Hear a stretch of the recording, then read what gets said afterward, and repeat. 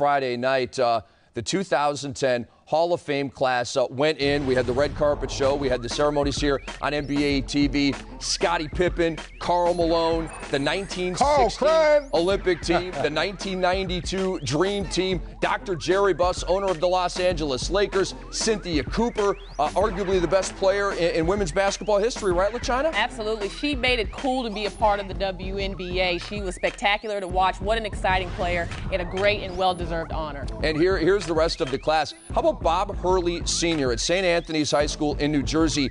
Almost 1,000 wins in 38 years there. An absolutely unbelievable record. The late, great Dennis Johnson finally goes in. The late, great Gus Johnson goes in, and you see Maciel Pereira, Brazilian great, aka the King. It was a wonderful Hall of Fame class, arguably the best of all time. Yes, possibly rivaling the 2009 class featured with Jordan, Robinson, Stockton, and Sloan. And we turn the page and look ahead to 2011 and some some of the great basketball figures who may be going into the hall. Uh, what about Sylvia Hatchell? Well, definitely a name that catches my eye. 35 years of coaching. She is the only coach to win a national championship at the AIAW level, NAIA, and NCAA. Wow. Over 800 wins. She's spectacular. She deserves the opportunity.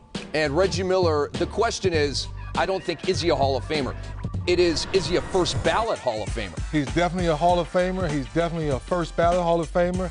Being with one team his whole career, uh, the most made three-point shots in NBA history.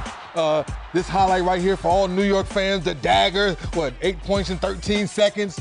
No question, Reggie Miller is a first ballot Hall of Famer. I totally agree. There's some people who disagree with us, and, and I think those people are out of their minds. And Reggie Miller, obviously a, friend of ours here, TNT analyst. Reggie, we're pulling for you to get in next year, and you see the NBA all-time leader in three-pointers made at 2,560. Dennis, how far are you behind Reggie? Hey, Reggie! I'm a long way away.